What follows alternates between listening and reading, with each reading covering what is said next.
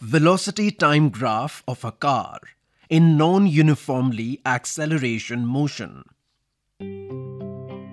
Learning objective. Let us learn about uniform acceleration and non-uniform acceleration motion. Let us see a uniform acceleration in a car.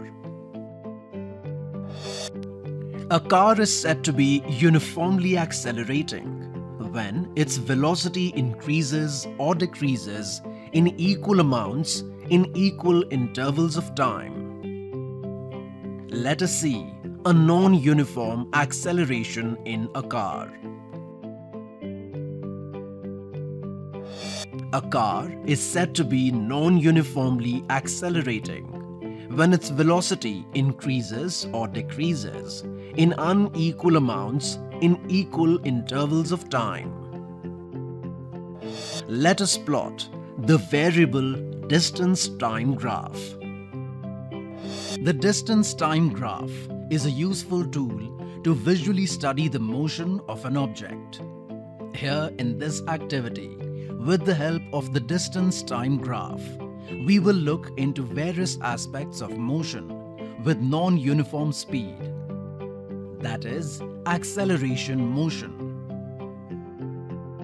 On the distance time graph, time is represented along the horizontal axis, that is, x-axis. On the other hand, distance is represented along the vertical axis, that is, y-axis. Here, time is measured in the second, that is S unit, and distance is measured in meter, that is M unit. The unit meter per second, that is M by S, is used to measure the speed of the car. At time t equals 0s, the car starts from its initial position and the initial speed is 0. The slider point is moved upwards to increase the speed of the car. We can observe that at time t equals 2 seconds, the moving car travels through a distance of 1 meter. Subsequently, at times t equals 2 seconds, 4 seconds, 6 seconds, 8 seconds, 10 seconds, and 12 seconds. The car covers distances 4 meters, 9 meters, 16 meters, 25 meters, 36 meters respectively. This is shown in the table. We know that the speed of a moving object is measured as the distance traveled in a unit time interval. On the screen, you can find the mathematical formula for measuring the speed of an object.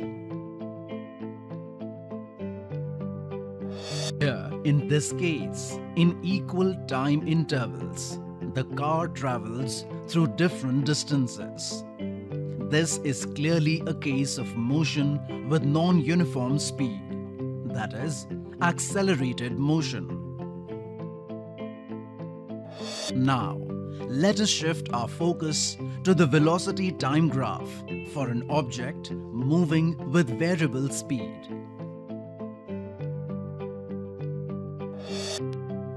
The rate of change of velocity of a moving object in a unit time interval is known as acceleration. The mathematical formula for measuring the acceleration of an object is mentioned on the screen. On the velocity time graph, time is represented along the horizontal axis, that is, x-axis, is measured in the seconds, that is, s unit. On the other hand, velocity is represented along the vertical axis, that is y-axis, and is measured in meter per second, that is m by s unit. To measure the acceleration of the car, the unit meter per second square, that is m by s square, is used. at time t equals 0 seconds. The car at rest starts from its initial position and the initial velocity is 0. The acceleration is also 0 at time t equals 0 seconds. From the velocity time graph, we can observe that initially the acceleration of the car changes from 0 meter per second square, that is m by s square, at time t equals 0 seconds to 0.5 meter per second square, that is m by s square at time t equals 4 seconds. The graph shows a non-linear nature during this time interval. Thereafter, the car continues moving with acceleration 0.5 meter per second square. That is m by s square at time t equals 4 seconds to time t equals 12 seconds. During this time interval, the velocity time graph shows a linear nature. This indicates that initially, the rate of change of velocity of the car increased, but in the later part of the motion, the rate of change of velocity of the car remained constant. Learning outcome Uniform acceleration motion. Velocity increases in equal amounts in equal intervals of time. Non-uniform acceleration motion. Velocity increases in unequal amounts in equal intervals of time.